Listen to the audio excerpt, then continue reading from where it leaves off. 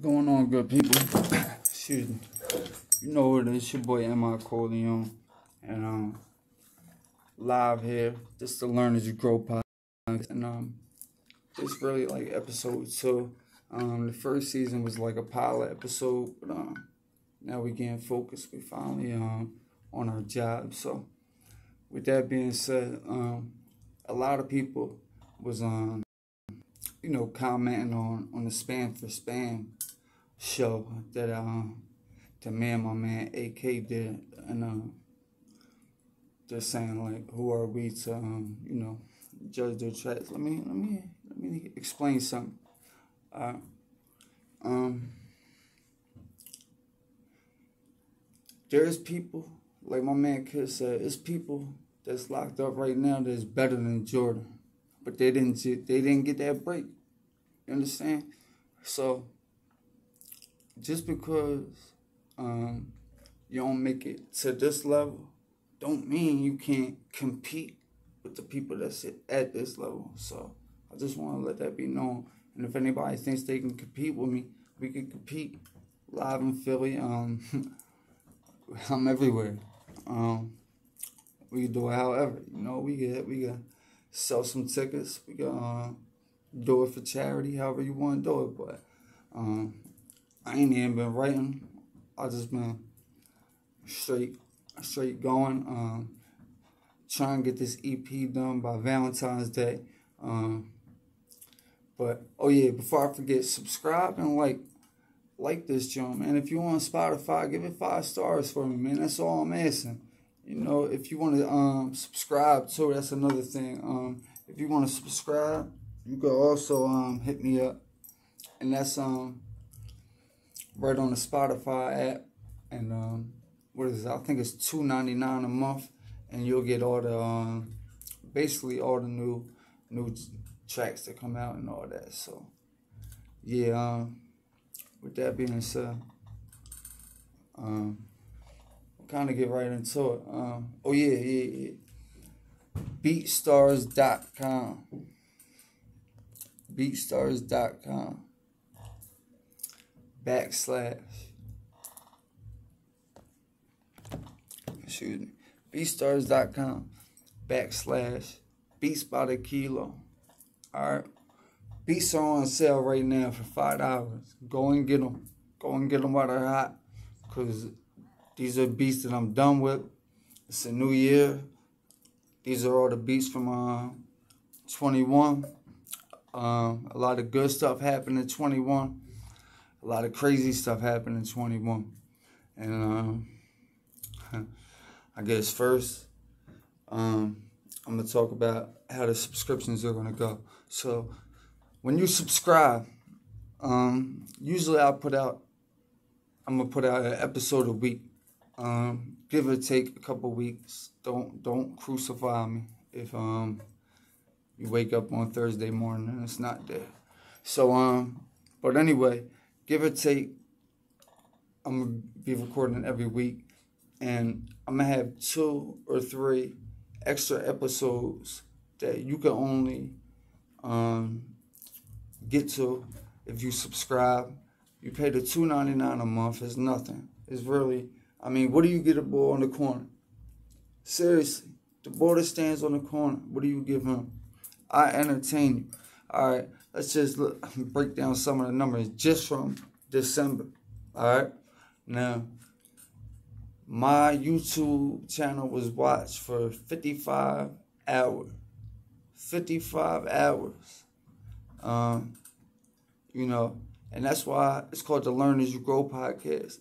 Because one thing about that is you can't compare yourself to others now. All right, you might be thinking like, all right, he got 55 hours of content, and um, people, you know, listen or watch for that long, whether they listen to the beats or if they um, or if they watch the, whatever the content. But what I'm saying is, for 55 hours, somebody watched what I did for the month. So, matter of fact, 17,000 people did. 17,000 unique unique viewers. So, with that said, anybody that wants to run ads on the, um, the podcast, hit me up. Um, it's for the low right now, and um, we could do a little deal right now for a month, two months, and um, you never know. Um, two months from now, this might be the hottest thing out. So you never know. But anyway, with that being said, um, hit me up, M.I. Corleone at beatsbykilo.com. And um, beatsbykilo.com will be relaunched again on January 1st. It's up right now, um, but we're doing it all over. We we gonna figure this whole thing out. So, um, what else we got to talk about? Um, mm. All right. So, the Span for podcast. I haven't been doing it because people are so sensitive. I started that because I figured I send my beats out to people and I want them to listen to my beats, right? So I started listening to some artists that were sending me some.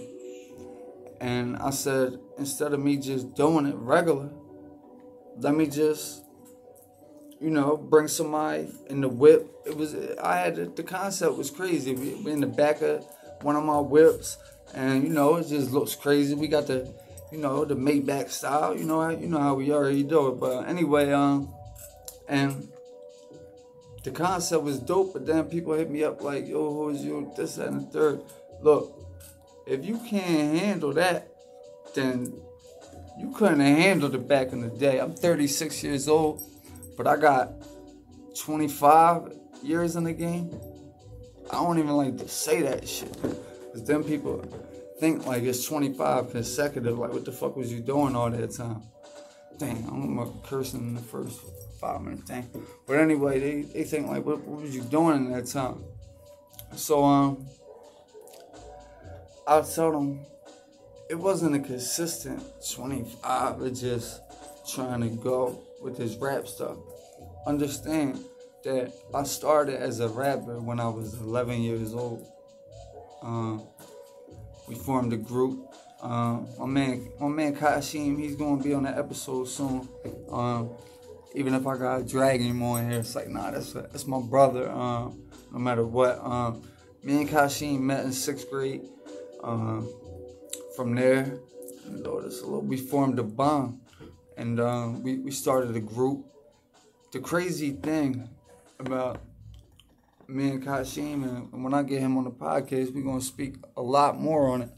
Um, the crazy thing about me and Kashim and the whole situation is that, alright, so when I think I told you guys already, um, you guys and, and girls, um, women, that,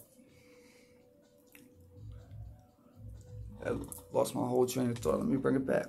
So I already told you guys that, um, you know, me and Kai, we started the group, and uh, you know, this was a time where um, me, my sister, and my mom were living in my my aunt's basement over in Jersey, and um, just so basically, so me and my sister can go to school over there, so you know, try to get out of the city, try to try to start a new life. Uh, that's what my mom was trying to do. My dad stayed in the city though. So um, my dad would never leave the city. He's just there. But anyway, um, so when we started the group, we both met each other in sixth grade, but he was from 31st in Tennessee. And I'm from 29th and Ward. Right anybody who knows uh, from back in them days, um, the racism was at an all-time high. About when I was 11 years old, around 96.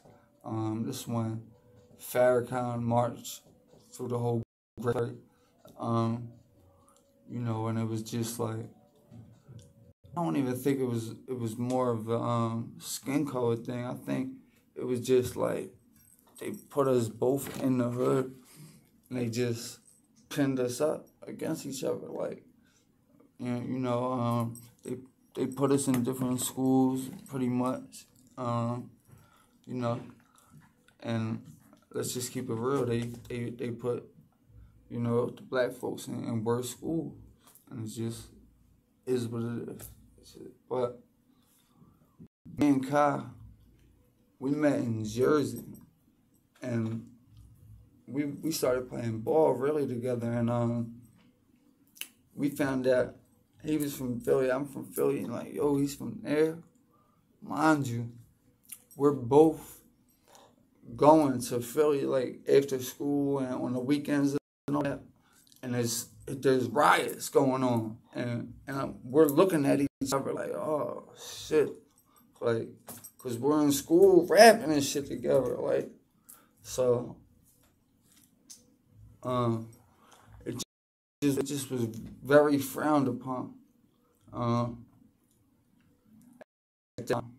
and hip hop brought us together as the as far as I'm talking about the whole neighborhood because apartment um talking about the whole neighborhood because pardon myself um because it was just like all right after that I remember me and Kai was at a football game and you know they had they used to have the football games right there on 29th and Tasker. Told you I'm from 29th Warren, but around that age of like 12, 13, everybody started heading up towards Tasker because it was just more people up there. They had the store right there, and it was just a better scenery.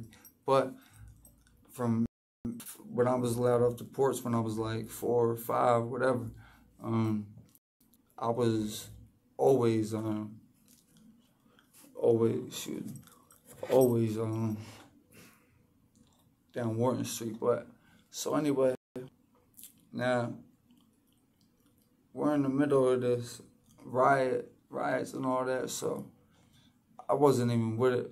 I didn't even want to go to um, Philly really no more like that. I just wasn't on that time. I was on some hip hop time, and I was I was just raised different, you feel me, than um, a lot of people. And you would think it to be the opposite. Because my mom, shout out to her, she witnessed her brother get killed back in like 76. When she was like 13. And um, over some racism stuff. And you would think that she would hold uh, resentment. You know, dude only he only got five years. You know, due to uh, kill my uncle Franny. Rest in peace, my uncle Franny. Um, you know,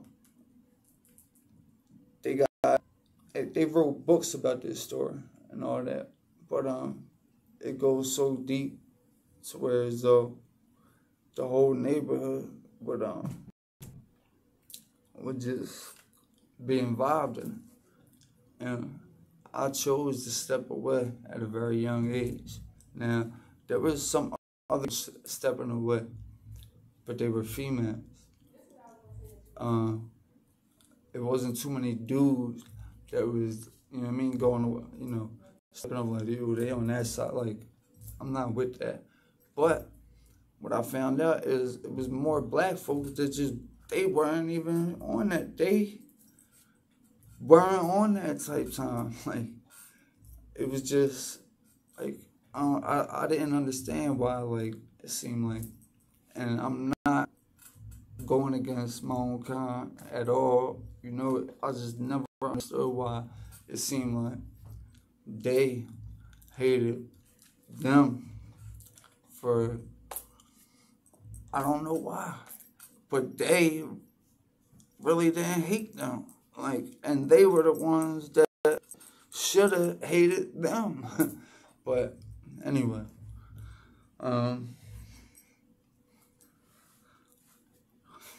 we started to go PFL, Players for Life. This was around the time when uh, Mason, Puffy, and the LOX just came out. So at this time you had to record demo tapes. remembers demo tapes. Remember, it was cassette tapes. Um, and um, you would basically, what I would do is, I would at first just have the regular um, thing you know, you just press record. I had to, somebody's instrumental playing in the background. Try rap to it. I remember the instru- first instrumentals I had was the Missy. Um, it was a it was a dope Missy. Nah, it was the Leah jump. Um, uh, I I um it was Leah John made by Timbaland. Um, what else? I put it in the description. And um, what else? It was um oh when Snoop signed No Limit, he put out a single with them called um, Don't the the the chorus went like matter of fact I think it was something like DPG or something like that, but we remade it in PFL. And to be honest with you, at that time there was people rapping to other people's beats, but there wasn't too many people um, remaking somebody's song. Like, have you seen um, later on in the mixtape game when you seen people just taking people's beats and just basically taking their chorus and re re remaking the whole the whole song. So um yeah me and Kai met my man Steve. And Steve just happened to be mixed. I couldn't make shit up. Steve was from Jersey though. He is from Williamsboro. Shout out to Steve. He's in Florida somewhere. Last I talked to him, Kai said he got in touch with him. Um, Steve always been thorough boy. Like you know, we used to at his house. His sister was thorough. Um, his sister was a little bit older than her boyfriend, Rat. I think his name was like Demetrius or something. But um, yeah, man, we go that far back, and we were whack. Just keeping it real, we were whack. It's, we were whack as all fluff. I swear to God, we're the wackest. But um, people would clown you back then when you stepped into a cipher and you spit some weak stuff. Like it was just, it was different back then. Uh, now you know, you just put some stuff on on SoundCloud, and if you get a couple Um, comments that people that you don't like, you just delete them and you just, you know, take the comments off and just let it rock. Back then, you actually had to go in front of people and spit your your verse. And then if they had a, a young pit bull with them, you might have to be there and go back and forth five rounds with this dude.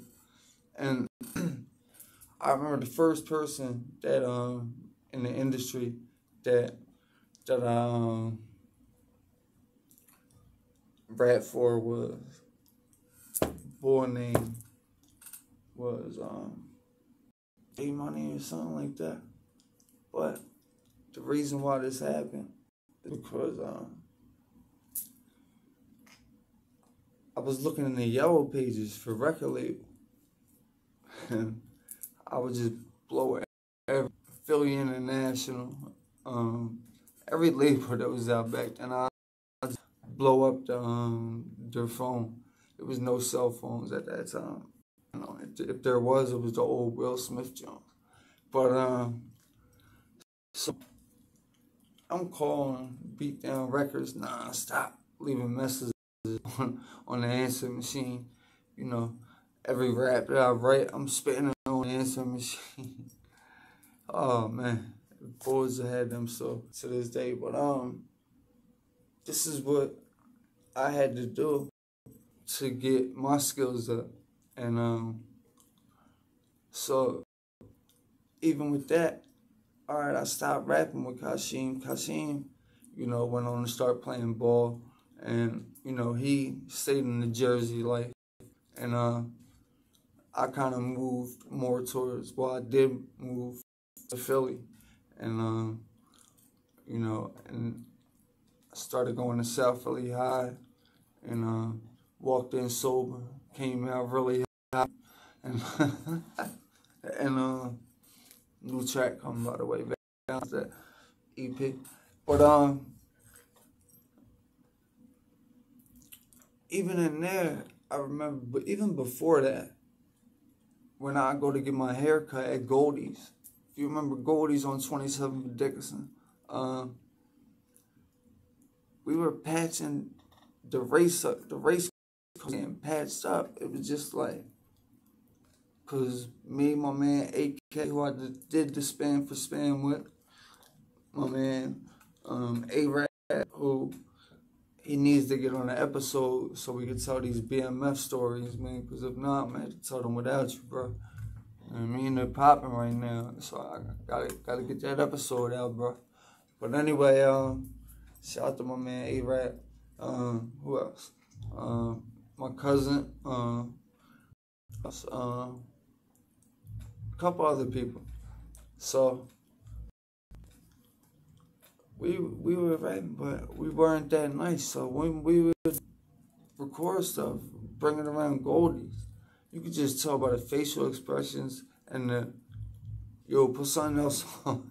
that's that's all that, that had to be said. And you kind of knew. I remember a couple times I had to sit there and get a haircut after they turned my joint off on the first song. Like yo, and not it.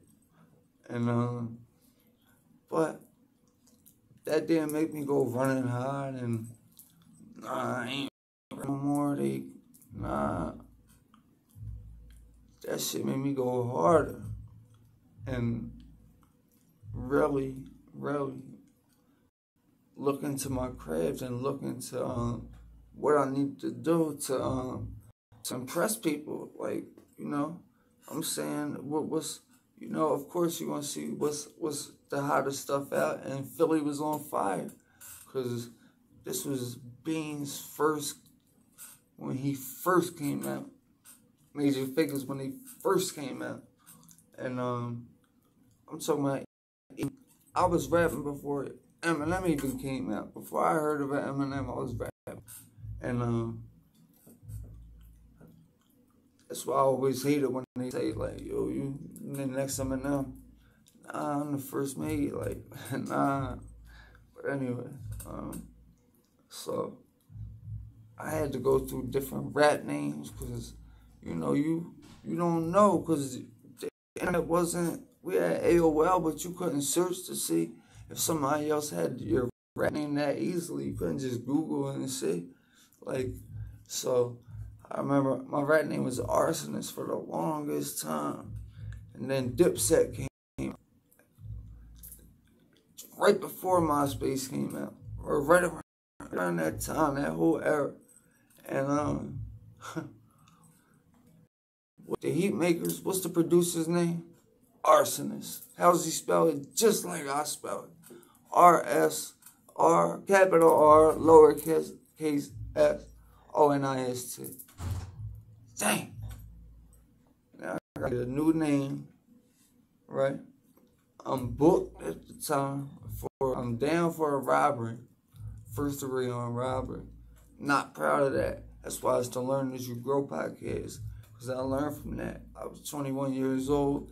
That was the first and last time that I ever went to state prison. Ever.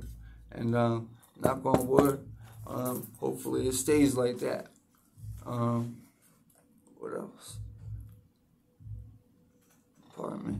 Alright, so I walk into prison. What's the first thing people like, yo, where you from? Philly. Mm, what you rap? I'm getting bang. I was in Jersey. In Jersey with all the boys from North North Jersey and Newark and Paterson and all them. Shout out to them, Jersey City, all that. And um shout out to all them. But um first thing like, yeah, you from Philly? And then they see my style. So I I probably ask somebody first, like, yo, who raps? And they be like, yo, my man, he raps over here, this my man. Like he he's from my hood. Mind you, I'm out I'm out of state. I don't know nobody in this joint. Matter of fact, I did know somebody. Cause um when I went to school out there, my man Dante, um, Dante Santiago, we was on the Bluebird and all together. Pause. You know with the Bluebird. We was on the bus to go to prison and all together, and um, that was God right there, cause he was Latin Kinged up. I'm neutral, and uh, it kind of gave me a, um, a, a, a crew to rock with. While you know when we first went to Annandale, we was in College Eight, and people were getting trashed in the basement and just coming up and just laying in their bunks.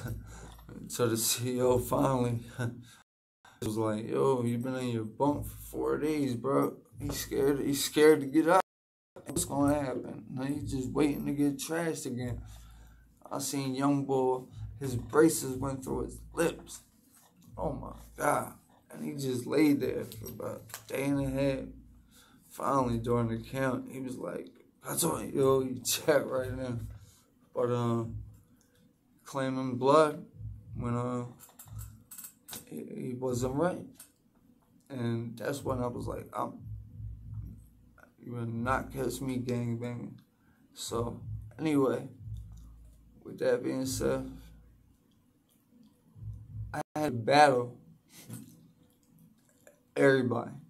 Because it's different if, you know, somebody from Camden, a black boy from Camden walked in at that time. We talking 2007, 2008, around that time.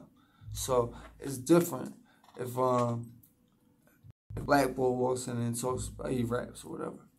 But when somebody from Philly comes in and it's a white boy, yo, boy from South Philly, he, he spit that shit. I probably, you know, spit a couple bars, spit a little 16 for them, you know, give them a little sample. You know, he spit that shit. I remember a couple times it was almost riots in the, not riots, but I'm talking about the COs almost ran down and called the, called the, called the code on us for um, just too many people gathered around. So um, when we finally I got a chance to battle the bull. I wasn't even worried about dude. Like I don't.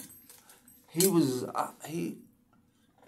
It's probably about a month. I was probably in for in there for about a month by this time. I didn't already rap with everybody, but it wasn't even on no battle and stuff. It was just on some cipher it's just like yo, boy, nice like, cause I really just even in um DC CFCF, wherever. CFCF usually I don't even feel like rap. I'm rapped out by that time. DC, you know, you, you might catch me on the on a uh, just trying to bid and but anyway, I, I throw a concert in that joint one night. DC, I swear to God, they they had the um, trash can upside down, and this is what hip hop is a. This is the root of hip hop. So I'm out here, um, when I'm out here judging um, other artists, I'm putting my music out to get judged just as well. Make up your show and uh, put my music on there and, and judge it. Shit.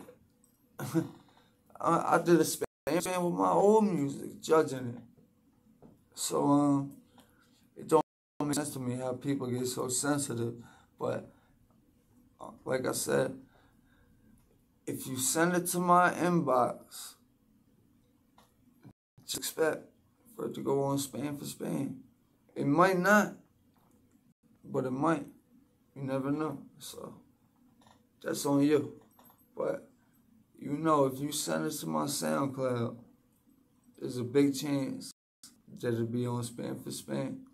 So I just don't even want to hear no complaint, nothing like that. But back to uh, what I was saying. So dude was was writing for like a month, right? Um, we ain't gonna do this. Shout out my pop. That's my man. Shout out my pop. That beat's crazy, so we ain't gonna do that. Um, so dude was writing for like a month. I'm trying to go home for real. Like I'm wrapped out at that point. Like, you know, i have been in the county at that time for like 11 months. Um, I was in Craig for like a month, just sitting, waiting to get my home job. I was in Cottage 8 for like almost a month. Now I'm over there in, what was that, Cottage, what was that Cottage? I think it's 10 of them. It's 10 of them. We was in 9 or 10, we was in 9. And, um, nine, nine, nine was the dogs, I think. We was in a, one of the crypt rooms. There's two crypt right near the kitchen. We was in one of them. And, um, that was about 15 years ago. And, um, dude came up and he had like a hundred bars from just like written. You could tell he wrote it and memorized the shit. Um, what? I wasn't ready. I wasn't ready for that one. Ain't dropped. But that's when I knew that the game was changed. Cause this was just around MySpace era. This was just around FL had just dropped. Um, you know, I, well, I, I didn't start making beats about a year and a half ago, two years ago for real. So, but anyway, um, MySpace had just dropped, so people were um trying to get that that look, but that whole thing was ended.